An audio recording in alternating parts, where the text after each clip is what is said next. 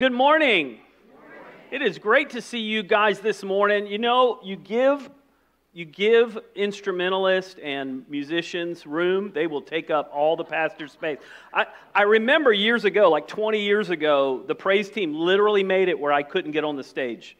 And I just walked up and then sat down. And they all were like, What? And I'm like, Where would you like me to stand for the sermon? And they're like, Oh, we didn't think about you. That doesn't surprise me a bit. Nobody thinks about anybody. No, I'm just kidding. You guys do. You're awesome. So today we're going to talk about such a time, and this is kind of the, the main verse. Most people know this verse from the book of Esther, and we're going to talk about today how to handle times like these. And I changed the message a little bit since last night. So, praise team who's already listened to it once, it's going to be a little different this time. I know that's a shocker to you. Um, and, and the way I'm going to frame it is I'm going to give you three things to do during crisis. If you're in a crisis, if you're trying to make a decision, if you're trying to figure out what do I do next, these three things hopefully will help you. But I want to start with this. Here are two shovels. And it was really funny because I said, What do you call these? And one of our northern friends says, We call the pointy one a spade. I said, There is no hillbilly saying the word spade. All my childhood with my Georgia dad, actually, he was born in Florida at Lake Okeechobee, where my grandfather dammed up Lake Okeechobee after putting sand on Miami Beach. That's the most hillbilly people in the world, are people who grew up in Florida in the 30s and 40s. Imagine life without air conditioning in Florida. By the way, some of you are in church today just because there's air conditioning, but that's okay. We still love you. So, so there's two different kinds of shovels, and we call the pointy shovel and the square shovel, right? And so my dad would say, "Go get me the pointy shovel." He never said spade. And my dad was a was a contractor. And which one of these is better? It depends on what you're doing. Now, here's what I want you to know about you. Because the enemy will come to you and will say, you know what? You're a square shovel. Don't you wish you were a pointy shovel?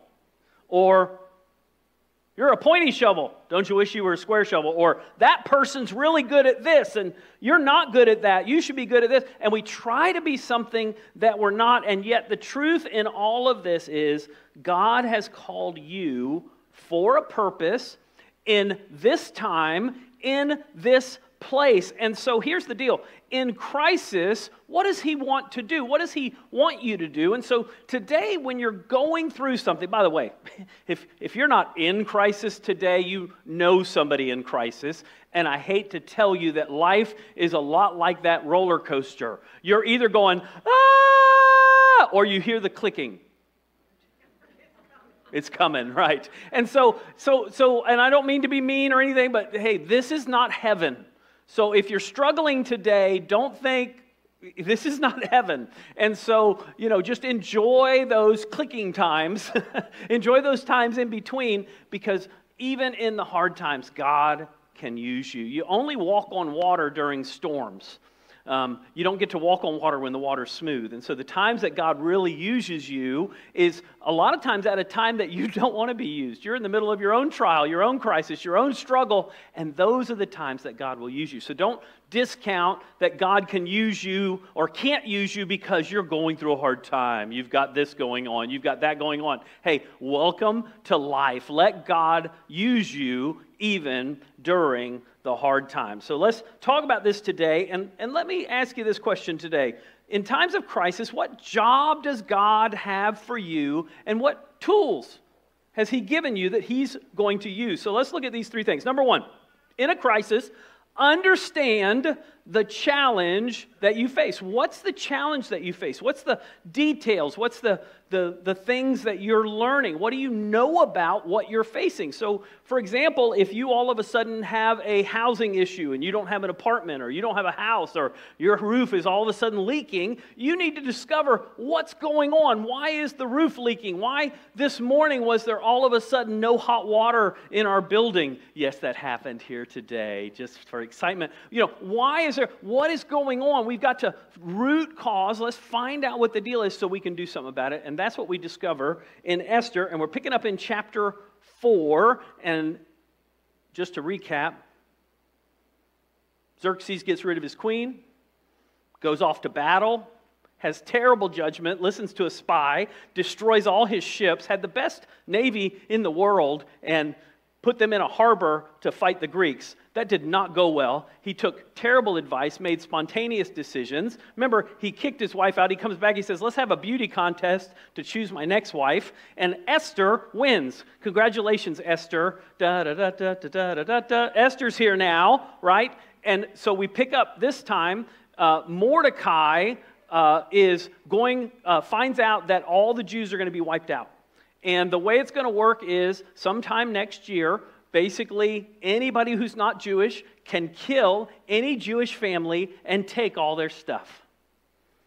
So here's what happens next. When Mordecai learned of all that had been done, chapter 4, he tore his clothes, put on sackcloth and ashes, and went into the city wailing loudly and bitterly. What was he doing? He was mourning. He was mourning over his people. I think he was partially mourning because it was his fault. Remember, he wouldn't bow to Haman, and so Haman got mad and decided, I'm not just going to take it out on you. I'm a little bit Italian, so I'm going to take it out on your whole family, right? Okay. My Italian uncle is here today, so he's like, We're going to get you for that one. All right, so here we go. But he went only as far as the king's gate because no one clothed in sackcloth was allowed to enter it. By the way, I love this little detail about Xerxes. You know what this tells me about Xerxes?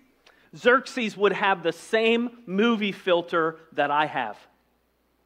Because you would come to me and go, Eric, you got to see this movie. It's great. And I say, Is the ending sad? And you say, Yes. And I go, Well, I'll never see it. Sad movies, we don't, why would I do that? Does it end happy? Yes. Okay. Does the dog die? Yes. Oh, never mind. Not watching that one right? And so Xerxes said, if you're sad, you don't get to come into my courtyard. Basically, stay away from my house. And so basically, if you're sad, if you're mourning, if you're having a bad day, Xerxes is like, no, I'm not dealing with that. Go away. And so that's what happens here. And then it continues, and I love that little detail. In every province to which the edict and order of the king came, listen, there was great mourning among the Jews. Do you blame them?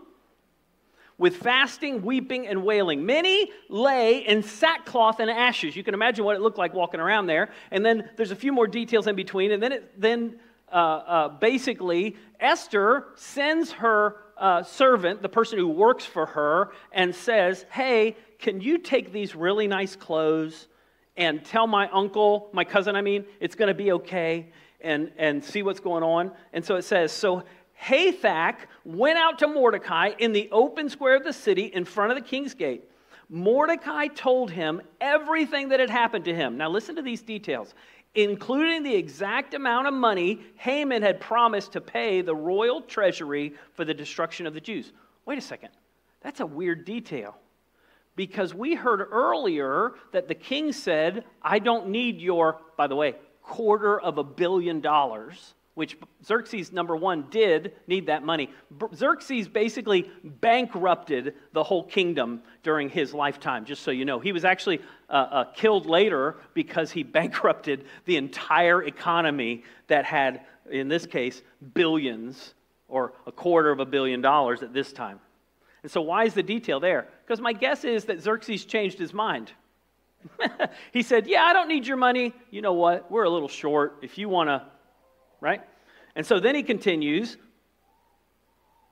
He also gave him a copy of the text of the edict for their annihilation, which had been published in Susa, to show Esther and explain it to her. And then he said this He told him to instruct her to go into the king's presence, to beg for mercy, and plead with him for her her people. Now, in your translations, it doesn't really come across with what the Hebrew says. He basically, her cousin, it, it, literally means he commanded her to go into the king's presence. Like he realized this is not going to go well. You need to go into the king's, basically beg for your people's lives. So, what was he doing? He was giving her all the details when you're going through a crisis, whatever the crisis is little crisis, big crisis. Little crisis, I'm hungry. I need lunch. Little crisis, right? Some of you are like, that's not a crisis. Yes, it is, right? Right? And, and so what, what does that mean? So, so you have to decide what do we need? What are the details? Bert, I'm hungry. What, what are the details behind that, right? And so, do you, do you have something to eat? Would be one of them. What's in the fridge? Do I need to go to the grocery store, right? That's the details. All of a sudden, you have a roof leak or a pipe leak or something else. What do you have to do? You have to start to figure out what do I need? What are the details behind it? Now, here's the deal. Over the years, well meaning Christians will say, list pros and cons, list what's good about a decision or bad about a decision, and typically, I agree with them at this point until they say, choose what has the most pros, because here's the deal list the pros and cons, but understand that sometimes God will lead you to the very thing that's more difficult. So don't, don't just say, I'm doing what's best for me. I'm doing, sometimes you say, here's the good, here's the bad, but I know that God wants me to pursue, even though it's difficult, He wants me to walk through this. So be willing to, to list the pros and cons, look at your list. So, are you going through a crisis right now? Is it with a family member? Maybe you need to start writing it out. Maybe it's a job situation. Start writing it out. My boss is a doofus. I'm self employed, right? Peter Lord used to say, The world is getting dark, but we're in the light business. And the thing is, we forget that. And so we go through life mad at things and upset about everything. But the truth is, hey, you're the best answer. Why? Because God has given you His light. So when you're going through a crisis, when you're going through a time of darkness, when you're going through a difficulty, instead of, woe is me, start saying, God, would you help me to encourage other people even through this time? Would you help me to bless other people even through this crisis, this struggle, this difficulty, this challenge? John 16 33. I want to retranslate this into my own version for you. So that's what I'm going to do. I'm going to read it like I wish it said. I've told you these things, Jesus says, so that in me you may have peace. In this world, this is the Eric version, you may possibly have trouble. But take heart, I've overcome the world. The only problem with that is that's what I want it to say. And TV preachers want you to pretend that if you just send money to them so that they can get their new jet and larger house, that they will keep you. God is just going to make your life great. You're going to have the best life. Don't you worry about anything. You'll get a front parking space, first class plane ticket, you know, whatever. And the truth is, none of that has anything to do with godliness. Jesus said the opposite. He said, In this world, you will have trouble. Anybody ever have trouble? Anybody in here? Just, I want you to look around. Go raise your, if you're refusing to raise your hand, I'm going to give you some trouble. Okay. All right. So, so we're going to start today, right? So, so Dave. so, in this world, you will have trouble. How many of you have ever had trouble? Yeah, everybody, right? And, and we go through life and we think nobody else has got like it. Now, I will tell you that I talked to somebody last night and I said, oh, that's tough. But even Paul said, you know, we have, he has a thorn in the flesh that God wouldn't take away, but he said, his grace is sufficient for you. God has not given you grace for somebody else's problem. He's given you the ability to help lift their burdens, but the truth is, God has given you grace for whatever you're walking through. And so ask God, God, would you help me to walk through it? You know, every once in a while somebody and somebody last night said to me, Well, well, Eric, I'm dealing with this. Is it is it Satan or God doing this? And I said, Does it matter? And they looked at me really funny. I said, Listen, we always pray. We pray, God, would you protect me from the enemy? Lord, would you give me wisdom? But the truth is, no matter what, God could stop anything. He allows things to happen to us. That gets into some theology that I'm like, I don't know. But the truth is, in the middle of all that, we say, God, would you give me grace? Would you give me peace? Because it says, in this world you have trouble, but the good news is, He has overcome it. So, Lord, thank you that this world is not all there is and that you've overcome it. And the question for all of us is, are you overcoming the world this week? What are you worried about? What are you frustrated about? What crisis is stressing you out? He has overcome the world. Number two, so in crisis, not only understand the challenge, choose to walk in His purpose. God has made you who you are. Some of you are like, I'm too mellow. Some of you are like, I'm too quiet. Some of you are like, I'm too loud. Everybody's different. Listen to this parable. I love the parable of the animal school. The animals organized a school to help their children deal with the problems of the new world and to make it easier to administer the curriculum of running, climbing, swimming, and flying. They decided all their children would take all the subjects. This produced some interesting issues. So the duck was excellent in swimming, but poor in running, so he devoted himself to improving his running through extra practice. Eventually, his webbed feet got so badly worn that he dropped to average in swimming. But average was acceptable in this school, so nobody worried about that except the duck. The rabbit had a nervous breakdown because the other animals said she looked like a rat when she jumped in the water for swimming class, and all of her hair got matted down. In the climbing class, the eagle beat all the others to the top of the tree, but kept insisting on using his own method of getting there. This was unacceptable, so the eagle got in trouble. And then the fish came home from school and said, Mom, Dad, I hate school. Swimming's great, flying's fun, but they don't let me start in the water. But running and climbing, I don't have any legs. I can't breathe out of the water. The fish's parents made an appointment with her for the principal, who took one look at her progress reports and decreed, You are so far ahead of the rest of the class in swimming, we're going to let you skip swimming and give you private tutoring in running and climbing. The fish was last seen headed for Canada to request political asylum. the moral of the story is this let the fish swim, let the rabbits run, let the eagle fly. We don't want a school of average ducks. And here's what I would tell you God has created you who you are for a purpose. And so the question is are you using the gifts that God has given you, or are you looking at everybody else and saying, well, I wish I was more like them? God has placed you in this time, in this place, in your neighborhood, in your job. By the way, you'll influence people I will never influence. So let's pick up the story and see what happens next.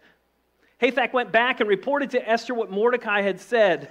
Then she instructed him to say to Mordecai, um, All the king's officials and the people of the royal provinces know that for any man or woman who approaches the king in the inner court without being summoned by the king has but one law that they be put to death. Unless the king extends the golden scepter to them and spares their lives. By the way, there would have been armed guards right there. You would instantly be killed. But 30 days have passed since I was called to the king. When Esther's words were reported to Mordecai, he sent back this answer Don't think that because you're in the king's house, you alone of all the Jews will escape. Why? For if you remain silent at this time, relief and deliverance for the Jews will arrive from another place. Do you hear what he just said? He said, If you don't do what God's called you to do, somebody else is going to do it. But then he continues. But you and your father's family will perish. And who knows but that you have come to your royal position for such a time as this? And I want to say this who knows? If that crisis that you're going through, that situation you're going through, that neighbor you're dealing with, that family member you're dealing with, that situation that you're dealing with, who knows if God has not put you in that place because you are the best equipped to be a blessing in the middle of what you're walking through. Now, I'm not saying you like it, I'm not saying you enjoy it. I'm thinking Esther wasn't really happy about her assignment. I don't think she went home and said, Oh, this is going to be great. No. It doesn't mean that you always like every situation God puts you in, but the truth is, when we are willing to say, God, I want you to use the gifts I have, who I am, to be a blessing wherever you have placed me. In Philippians 2, it says this Therefore, my dear friends, just as you have always obeyed, not only in my presence, but much more in my absence. Now, listen to this. This is a confusing verse for people. Continue to work out your salvation with fear and trembling. Why? For it is God who works in you to will and act in order to fulfill his good purpose. And people mistranslate this all the time that you better work on your salvation or you're not going to make it to heaven. That is not what this means. What it means is this. you ready? since you're saved, live like it. Since God has blessed you, since God has equipped you, since God has gifted you, live it out. Don't just talk about peanut butter sandwiches. Get up and get some peanut butter and jelly and put it on a. You guys are going to have peanut butter and jelly for lunch, aren't you, after this? So many people text me after church. You talked about Big Macs. We got four. I'm like, so I'm not encouraging you to eat peanut butter and jelly today, except for you. I know you've already, you're ready. All right. So, so here's the deal. Use the gifts God's given you. That's what he's saying. Work out your salvation. Basically, act on, ready? Who God's made you. You know, part of the problem sometimes we forget that we are blessed, we are anointed, we are children of the King. God has given us his favor, his grace. And we start walking through stuff, and what do we do? We think of every negative thing. And then we wonder why we're tired, frustrated, irritated. Because instead of walking in God's grace, what are we walking in? Fear. But what if? But what if? But what if? But what if? And that's what she says. What if? And he's like, it's not going to matter anyway. So listen to what she says next. Number three, seek God as you, listen, listen, prepare for action. This is a big deal. Because as Christians, if we're not careful, we'll know what's right, we'll understand what's right, but the Bible says faith without works is dead. That's what James says in chapter 2. And why is that? Because if you don't act on it, you're not actually doing it. We can talk all about stuff, but, but do it. All right, here we go. Then Esther sent this reply to Mordecai Go gather together all the Jews who are in Susa and fast for me. Do not eat or drink for three days, night or day. I and my attendants will fast as you do. When this is done, so she doesn't just talk about it. What is she going to do? She's going to pray. She's going to seek God. By the way, everybody makes a big deal that God's name is not mentioned in this book of the Bible. And yet here we are seeking God's presence, obviously. And then she says, When this is done, I'll go to the king, even though it's against the law. And if I perish, I perish. Remember when you were a kid, you said, If I lie, you die. Remember that? I don't know why I suddenly remembered that, but there it is, right? If I perish, I perish. And then she says, So Mordecai went away and carried out all of Esther's instructions. What did she say? She said, We need to fast. So, what was an Old Testament fast? It was doing without food, usually doing without drink, except for water. Now, why is that different than now? It is and it isn't. But you need to understand that t- making lunch back then started with making a fire in the morning. And then maybe grinding some flour or finding the flour and making your own bread and then putting that bread in the oven. They didn't just have a refrigerator they walked to. So when you fasted, you were able to take hours that were dedicated to something else and dedicate them to God. So some of you, an Apple phone fast would give you hours back, a computer fast, a TV fast, an internet fast. Why? Because the purpose is to take one thing put it aside. Why? So that you can focus on God, I want to know your will for my life. If you're in a crisis, and in order to fill your life, you're just scrolling on your phone and getting your dopamine hit so that you feel better about the crisis, but you're not doing anything about it. You're not really doing what God wants you to do. And so sometimes we need to put something away and say, God, I'm going to focus and refocus my life on you. A lot of people deal with crisis, but they don't necessarily want to do anything about it except escape the crisis. But sometimes the only way you can deal with a crisis is take time to pray, take time to seek God. Why? So then you can act on what you're supposed to do. Matthew 6:33 Seek first his kingdom and his righteousness and all these things will be given to you as well. Life a lot of times because of the world around us it's like being motion sick.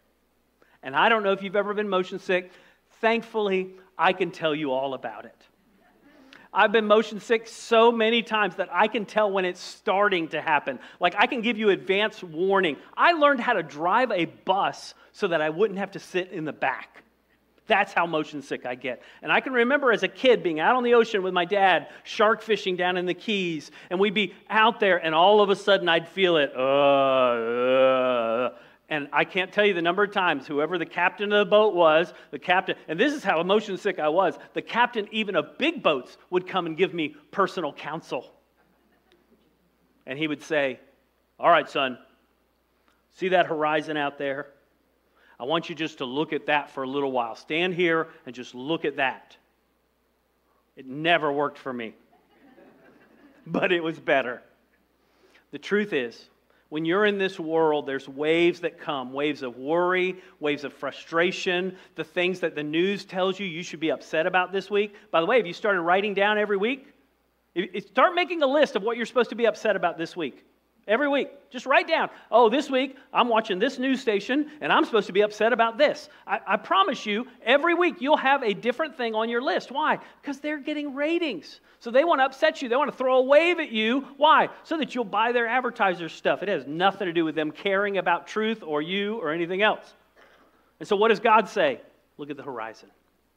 Seek first His kingdom. He'll take care of all this other stuff. He'll take care of whatever the news thinks you need to be worried about this week. He'll take care of whatever political situation you're worried about this week. He'll take care of whatever, ready, ready? Family situation, work situation, health situation. Maybe your doctor called you and said, You need to come see me right away. I never like it when doctors are in a hurry. That's never good news. Like, Eric, you need to come in tomorrow. I'm like, What? I like it when they say, All right, see me in two months. I'm like, Good one. The best was a skin doctor. See you next year. But right away. So, whatever that worry is, whatever that frustration is, are you going to look at the horizon? Are you going through a crisis right now? Seek first His kingdom. God has given you tools, He's given you His strength, He's given you His love. Understand the challenge you face. God, I want to walk in your purpose. And then, God, I'm going to seek you even as I prepare to do what you've called me to do. If you're here today and you've never given your life to Jesus Christ, you can do that today. I'd love to talk to you today about what it means to be a Christian. And uh, so after the service, you can come and say, Eric, I want to give my life to Christ. Maybe you're here and you're a Christian, but the truth is you've gotten your eyes off the horizon. You, you've been staring at the waves, the worry, the frustration. It's normal. We all do it. Today, make a new commitment. Say, God, I want to seek you first. And what will happen is the peace that passes understanding will guard your hearts and minds in Christ Jesus. Would you join me as we close in prayer? Father, thank you for this time this morning. I thank you for your word. I thank you for your love for us. Father, I pray today that we would know your love as we walk through crisis. Father, I know there's some people here who are dealing with huge crises in their life. Lord, I pray as they seek you first that you give them your peace. Lord, I thank you that you say you've overcome the world, so would you help them to overcome in this situation? Lord, that one who's overwhelmed with a family issue today, I pray right now they would know that you're going to give them wisdom to walk through it. Lord, we trust you. We love you. In Jesus' name, amen.